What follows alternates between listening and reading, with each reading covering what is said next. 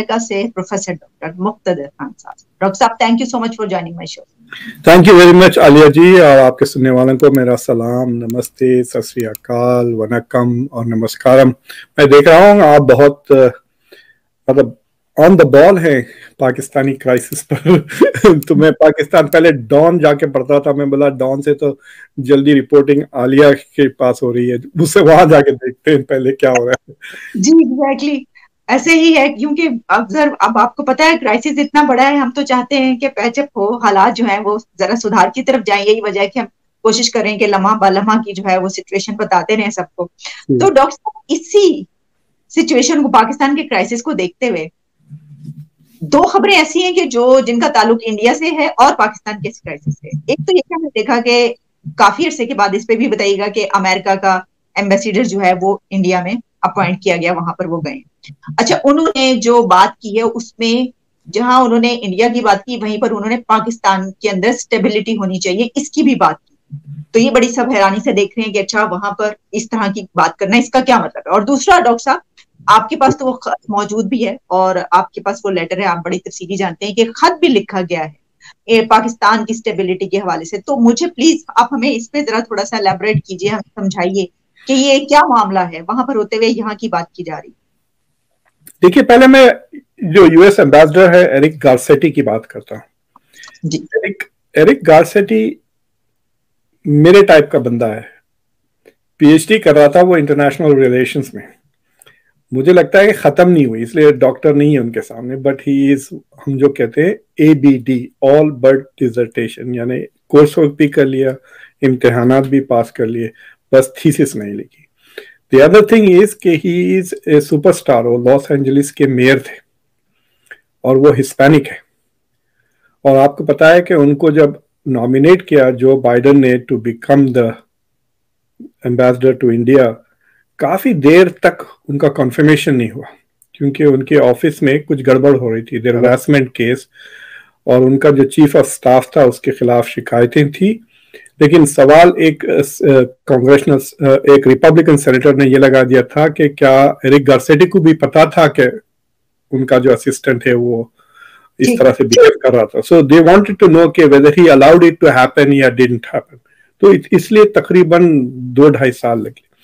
But he is a superstar अगर उसको वहाँ नहीं भेजते ना उसको प्रॉमिस नहीं करते 2020 में he would have run for president he is that kind of और इट इज़ क्वाइट पॉसिबल कि he might be a candidate in 2028 तो इंडिया में जो लोग सुन रहे हैं जरा बंदे से दोस्तियाँ अच्छा करें उसको treat him well he might be a US president in the future definitely वहाँ से वापस आके वो सेनेटर ज़रूर बनेगा। अगर डायन फाइनस्टीन खत्म हो जाती हैं रिटायर हो जाती हैं ये या she decides she is decided not to run from California then he can come back and run for US senate तो he is a very important man he had the ear of the president very respected in the Democratic Party तो उनका जो बयान था कि both the US and and India want uh, stability in Pakistan. लेकिन उनके statement से ज़्यादा interesting this is the same statement जो चाइनीज़ फॉरेन मिनिस्टर ने किया था। ये प्रॉब्लम शुरू होने से पहले। उन्होंने जब पाकिस्तान आए थे ना किंग गाँव तो उन्होंने कहा था कि पाकिस्तान को के गेट योर एक्ट टुगेदर आप स्टेबलाइज हो जाए क्या तमाशे कर रहे हैं let's focus on doing business finish for it's a very similar statement saying कि get your act together, establish it. लेकिन जो इंटरेस्टिंग बात यह है कि the US ambassador to India felt that वो दोनों मुल्कों के लिए बात कर सकता है। He is not speaking for just the US he speaking for both India and the US both India and the US want Pakistan to to to stabilise तो वो बड़ी अच्छी इंटरेस्टिंग बात लगी मुझे। मुझे ऐसा लगता है इनको जाके एक महीना नहीं हुआ है। But he is already probably met a lot of important people in India and he feels के India and US are so much on one page that he can speak even on behalf of India. जैसा America के presidents वगैरह feel free to talk on behalf of Europe ना? कि वो हमारे allies है हमसे इख्तलाफ नहीं करेंगे। अगर वो डिसएग्री भी करे तो प्राइवेटली बोलेंगे हमको आपने ऐसी कैसी बात कर दी right so to me that was an interesting indication कि एरिक गार्सिटी की ब्रीफिंग में डेफिनेटली जब वो बने ambassador that he was told के this is a very important relationship and your job is to to bring India and US closer. तो अब देखना वो he he has his own style और आप ये देख रहे हैं। तो मुझे जो पहला बड़ा बयान उनका आया is going viral is where he says both India and the US want stability उन्होंने ये नहीं कहा कि the US want stability in Pakistan तो, तो ख्याल में डॉक्टर साहब ये जो आपने सारी बात फरमाई और उसके बाद एक लेटर भी है जो आपके पास है मैं चाहूँगी कि आप उसके ऊपर भी प्लीज़ हमें बताइए कि उसके अंदर क्या लिखा हुआ है और क्योंकि वो भी इसी से रिलेटेड ही लग रहा है कि ये जो इशू है यानी। तो आप समझते हैं कि इंडिया ये जो बात कर रहा है जो कि एम्बेसडर ने भी कही कि उस दौरान पाकिस्तान का नाम लेना और ये स्टेबिलिटी की बात करना और खत में भी जो है वो भी बताइए ये क्यों है इस तरीके से? देखिए अब ये अमेरिका में ये तय है कि इंडिया हमारा एलाई है स्ट्रेटेजिक पार्टनर है, हमारा दोस्त है वी आर वन इंडिया थोड़ा हेजिटेट कर रहा है ना। इट्स लाइक सेइंग कि इंडिया बारात लेकर आ गई शादी के लिए। अमेरिका बारात लेकर आ गई शादी के लिए इंडिया कह रहे हैं let's have live in relationship for some time निकाह बाद में करते हैं। That is India response because India wants थोड़ा फ्रीडम एंड ऑटोनॉमी बिकॉज़ एक बार यूएस की हो गए ना इंडिया तो इंडिया को वो दबा देगा। It will dominate India India को ऑटोनोमी नहीं रहेगी। So India understand that and India wants to maintain some freedom to be able to deal with Russia Russia से वेपन भी ले सकता है। फ्रांस से भी लेना चाह रहा है। इटली से सबमरीन खरीदना चाह रहा है। India wants to have freedom of operation away from US So, but the US is determined कि वो इंडिया को अपना दोस्त बना लेगा ताकि फिर वो चाइना के से they will move towards China. तो अब यूएस जब लीडर्स जब बात करते हैं they talk as if India और चाइना अमेरिका के बीच में कोई इख्तलाफ ही नहीं है इसी मसले पर। We are on one page and you are seeing that in Garcetti जो एलिजाबेथ जोन्स थी वो करियर डिप्लोमेट थी। इससे पहले जो इंटरिम uh, एम्बेसडर जो थी she was not talking like this उसकी एक वजह ये भी थी कि she was very much into the Russia Ukraine sector वहाँ से आई थी वो. That is her area of expertise and I think she was unhappy with India's position on Russia. मैं तो दो तीन बार अपने शोज़ पे भी कह चुका हूँ कि इंडिया शुड बी अपसेट के एलिजाबेथ जोन्स को भेजा, इन्होंने as ambassador because she is more pro Ukraine than interested लेकिन एरिक गार्सेटी का ऐसा कोई बैगेज नहीं है। He is going there Eric Garcetti also अपने ग्रेजुएट स्टडीज़ में I think he wrote something about India या he studied politics of developing nations वगैरह उसने पढ़ा हुआ है। मुझे अब याद नहीं आ रहा but there is some academic connection that he has with India also so so you can see that in this politics और वो जो लेटर का सवाल uh, है वो लेटर में आपको थोड़े मेन पॉइंट बता देता हूँ। ये 16 मई को Congress of the United State से भेजा गया द ऑनरेबल एंटनी ब्लिंकन को एड्रेस किया गया एंड और इसमें ये कहते हैं कई सारे uh, मेरे ख्याल से कुछ तीस चालीस के करीब कांग्रेस मेंबर्स है यूएस कांग्रेस के पार्लियामेंट के जो कह रहे हैं कि as proponents of a strong US Pakistan relationship यानी जो कांग्रेस में जो पाकिस्तान कॉकस है यानी जो अमेरिका और पाकिस्तान के ताल्लुकात बेहतर करना चाहता है जिसमें इल्हान उमर भी, भी है आंद्रे कासन भी है ये जो Muslim members of the US parliament है उन दोनों का नाम भी है इसमें तो वो कहते हैं as proponents of a strong US Pakistan relationship we write to express our concern about the current situation in Pakistan and urge you to use all diplomatic tools at your disposal to pressure the government of Pakistan towards a greater commitment to democracy, human rights, and the rule of law. तो ये कह रहे हैं कि basically हम चाहते हैं कि पाकिस्तान के और यूएस के ताल्लुकात बेहतर हो। हमको फ़िक्र है कि पाकिस्तान में डेमोक्रेसी और ह्यूमन राइट्स का डिक्लाइन हो रहा है। हम चाहते हैं कि अमेरिका अपना पूरी कोशिश करे डिप्लोमेटिक टूल्स जो अमेरिका के पास है, ताकि infringement of freedom of speech और फ्रीडम ऑफ़ असेंबली ना हो। तो it very it is very clear कि आप कह सकते हैं कि इसमें प्रो इमरान खान टच है। क्योंकि फ्रीडम ऑफ़ स्पीच और फ्रीडम ऑफ़ असेंबली ही चाहते हैं ना इमरान खान जितने वो जलसे वगैरह करना चाह रहे हैं। तो the military obstructing those things also तो ये तीस चालीस कांग्रेसमैन का खत है। You can say Pakistan caucus जो है I don't know whether it is the Pakistan caucus, uh, but these are those who want to see good relations between Pakistan and the US. वो कह रहे हैं कि पाकिस्तान के हालात से हम परेशान हैं और हम चाहते हैं एंथनी ब्लिंकन को ये किए। इट इज़ क्वाइट पॉसिबल कि ये प्रेशर की वजह से भी एरिक गार्सेटी ने वो स्टेटमेंट इश्यू किया है because he would seen this letter also उनको भी भिजा दिया होगा कॉपी ब्लिंकन ने। So this is an interesting thing कि अब पाकिस्तान के जो मसाइल है are being noticed in the west अभी तक खामोशी थी ना आपने देखा कि ज़्यादा कोई कुछ नहीं कह रहा था सिवाय चाइना के पास से एक दो स्टेटमेंट्स आए थे इंडिया तो ऑब्वियसली रोज रोज स्टेटमेंट्स आते हैं कुछ ना कुछ लेकर। लेकिन वेस्ट से उतने ज़्यादा स्टेटमेंट्स नहीं आ रहे थे लेकिन अब आ, आने लगे हैं। देखिए दुनिया का जो मूड समझे आप बहुत बदल गया है। अगर पाकिस्तान में मिलिट्री आ जाती है टेक ओवर करती है then the relationship with the west will not be good जो ऐसा पहले हुआ करती थी। हम्म। जब जियाउल वगैरह जब आए मुशर्रफ ने जब बाद में यू टर्न किया उसके बाद से तो काफ़ी अच्छे ताल्लुक हो गए ना।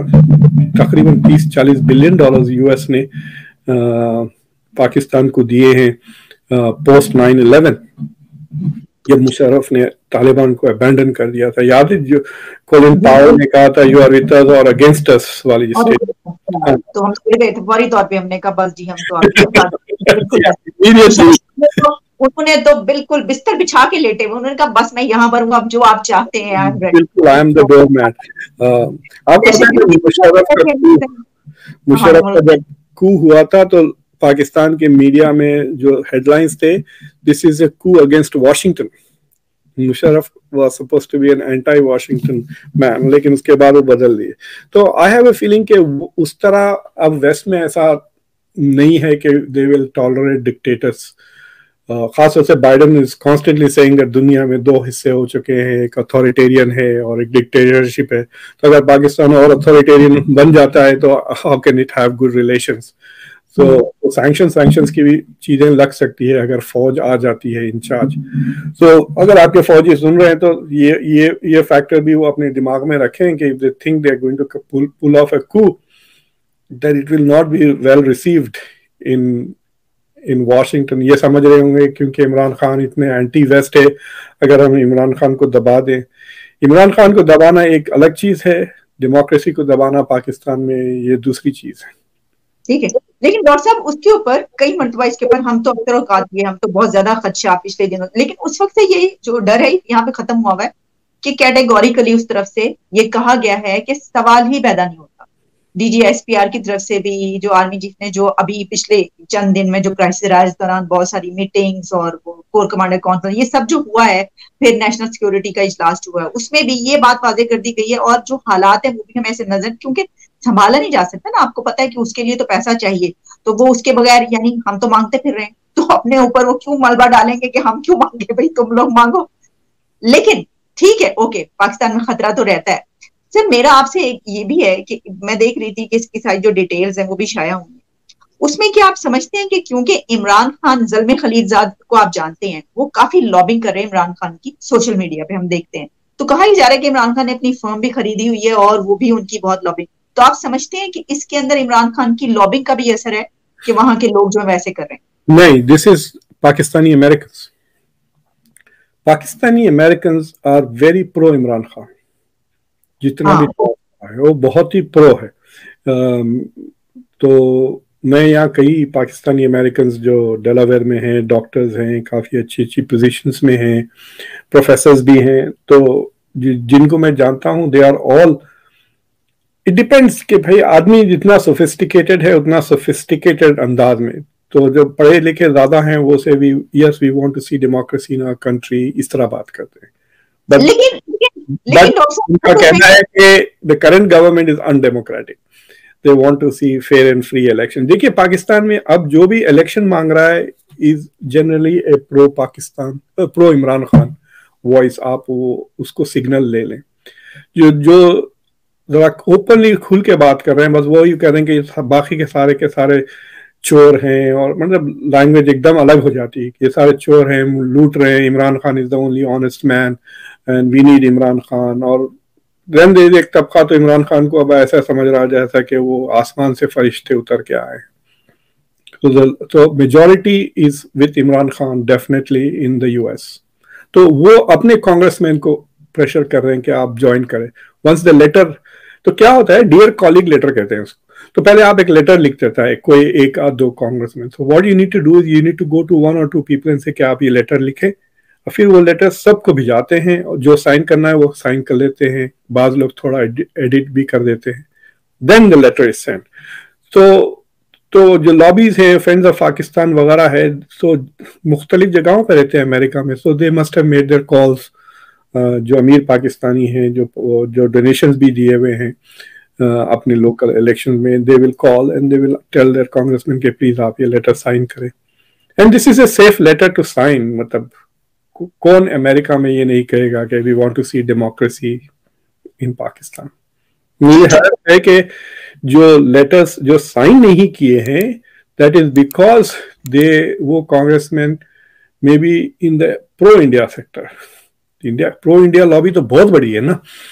That is why this is such a small number of people sign the letter 435 होते हैं। मुझे लग रहा है कि सिर्फ़ 10 परसेंट या उससे कम सिग्नेचर्स हैं।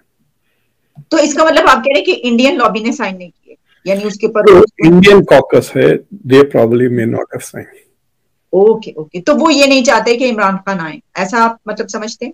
नहीं no they just don't want to be seen as writing friendly letters about Pakistan. जी हाँ। उनकी क्योंकि फिर उनकी जो कंस्टिट्यूएंसी है वो तो नाराज़ हो जाएगी ना फिर। जी मैं जो आपसे बात करने लगी दरमियान में वो मैं ये कहने लगी थी कि वहाँ के लोग अगर एक तो ये कि इमरान खान की लॉबिंग जो है वो इस वक्त वहाँ पर हो रही है तो पता ही है उन्होंने फर्म भी एक हायर की और जलम खलील जात तो खासतौर पर उनकी बहुत ज़्यादा वो कर रहे हैं ये बात की जाती है यहाँ पर। लेकिन इसी के साथ जो उनके फ़र्ज़ करें कि जो वहाँ पर बहुत वो पॉपुलर हैं ये जानते हैं बहुत सपोर्टर हैं। लेकिन वो अगर डेमोक्रेसी के सपोर्टर हैं तो क्या उनको इमरान खान को ये नहीं कहना चाहिए कि जो फाशिज्म है सियासत से वो डेमोक्रेटिक उसमें नहीं चलता वैल्यूज़ में? ये भी तो फिर लेकिन मुझे लगता है कि उनका भी वही होगा। पिछले तीन चार दिन से जो पाकिस्तानी प्रोफेसर हैं और चंद मुझे बहुत अटैक कर रहे थे। एक एक सोशल फो, एक एकेडमिक फोरम पर। तो वो कह रहे थे कि उनके अटैक से ऐसा लग रहा था कि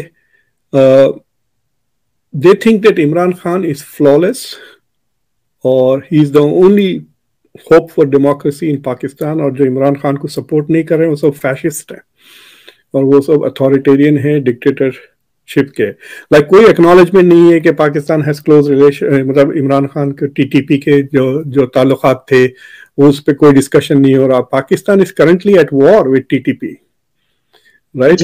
लोग भूल जाते हैं। दूसरा आप जो तो so there is a lot of support I don't blame them देखिए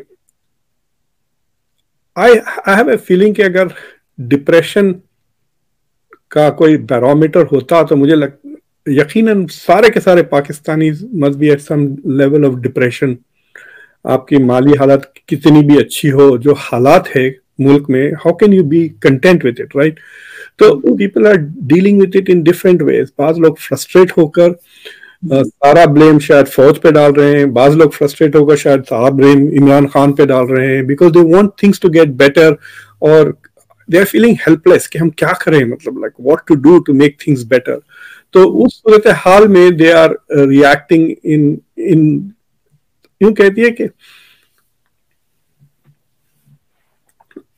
they they are seeking guidance and they don't know where to get. Okay okay. अच्छा डॉक्टर साहब, एक और खबर जिसके पर मैं आपसे बात करना चाहती हूँ। ये खबर मेरे सामने इस वक्त, और इसमें ये है कि जो प्रेसिडेंट बाइडन है, वो चाइनीज़ प्रेसिडेंट से, उनसे मुलाकात का वो हुआ है।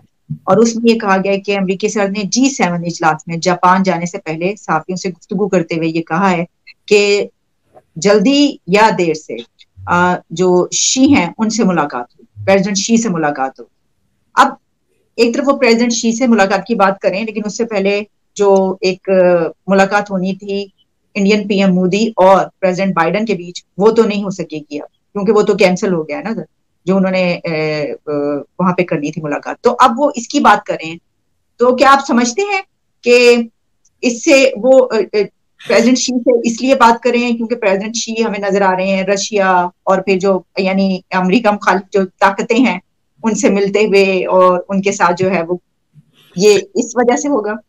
देखिए, अभी जो जो मीटिंग जो कल शुरू हो रही है, ये जी सेवन की मीटिंग है। इस जी सेवन की मीटिंग में China is not invited to Japan ना चाइना है। पहले जी एट हुआ करता था, लेकिन रशिया को निकाल दिया तो वो जी सेवन हो गई। तो अब जी सेवन में इंडिया को बुलाया गया। इंडिया इज़ देयर मीटिंग में कल जा रहे हैं। नरेंद्र मोदी जापान यहाँ पहुँच भी गए होंगे। And Narendra Modi is also coming to the US ना स्टेट विज़िट हो रही है दिस इज़ अ वेरी मतलब साल में एक या दो स्टेट विजिट्स होते हैं इट इज़ इससे ज़्यादा इज़्ज़त अफजाई अमेरिका नहीं कर सकता this is the highest level of respect that America gives to another leader जब उनको स्टेट बहुत बड़ा व्हाइट हाउस में there will be banquet dinner जिसमें यू नो बहुत तारीफें वगैरह होगी।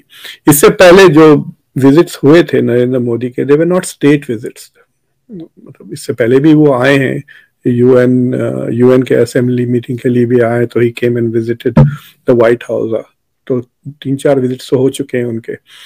But what is interesting is के देखिए, बाली में जब जी ट्वेंटी का कन्वेंशन हुआ था नवंबर में, अगर आपको याद है तो एक दिन पहले जी से मीटिंग हुई थी बाइडेन की, साढ़े तीन घंटे की मीटिंग थी राइट जिसमें चाइना के रीड आउट से कुछ समझ में नहीं आया, लेकिन द यूएस का रीड आउट में ये था कि बाइडेन एम्फोसाइज के he doesn't see this relationship as conflict but as competition के हम आपसे compete करेंगे इकोनॉमिकली टेक्नोलॉजिकली और जियो पोलिटिकली सो जिस तरह से दूसरे मौक़ों पर यूनिलैटरली सख्त बयान आए हैं अमेरिका की तरफ़ से और चाइना की तरफ़ से भी काफ़ी बयान आए। तो उस तरह का वो temperature they want to bring it down देखिए इतनी साधा टेंशन के बावजूद 2022 was one of the best trading years between US and China 690 billion dollar का ट्रेड हुआ। और अमेरिका का one of is best year if not the highest ever exports to China तकरीबन डेढ़ सौ बिलियन डॉलर का एक्सपोर्ट्स हुआ है। यानी जो इंडिया और यूएस का जो टोटल ट्रेड है, वो 125 130 बिलियन डॉलर का है। यानी इंडिया 80 बिलियन के करीब एक्सपोर्ट करती है 50 बिलियन के करीब इंपोर्ट करती है। लेकिन US export to China is more than that China का जो एक्सपोर्ट है यूएस को वो चार पाँच सौ बिलियन के करीब है। So they had the best trading year even though huge deficit था यूएस के लिए। तो businesses are connected very heavily close economic ties है दोनों के बीच में। डीकपलिंग की बहुत बातें हुई दोनों इकोनॉमीज की लेकिन डीकपलिंग नज़र नहीं आ रहा क्योंकि इतनी ज़्यादा ट्रेड हो रही है। So I have फीलिंग के there is a lot of pressure, especially from the business sector, कि geopolitical जो रेटोरिक है उसको जरा ठंडा करें। तो तो आई हैव अ फीलिंग कि वो meeting is going to be important I मेरे ख्याल से वो जी ट्वेंटी इंडिया में ही होगी वो मीटिंग जी शिपिंग की और बाइडन की। It will be very interesting अगर इंडिया में होती है राइट सो तो meeting with Modi in June तो सो वो सितंबर में है शायद जी ट्वेंटी की मीटिंग तो it will be an interesting thing to see it will become even more interesting अगर पुतिन आ जाते हैं सीओ के लिए India right Putin I don't think will come for the G twenty but he he might come for S C O तो very interesting last time सिर्फ़ लेवराव आए थे जी ट्वेंटी बाली को G hmm. okay. Okay doctor साहब thank you so much for your precious time sir thanks a lot आपने बहुत time दिया और बड़े तफसीली हमने इसके ऊपर गुफ्तगू फरमाई. Thank you very much Alia bye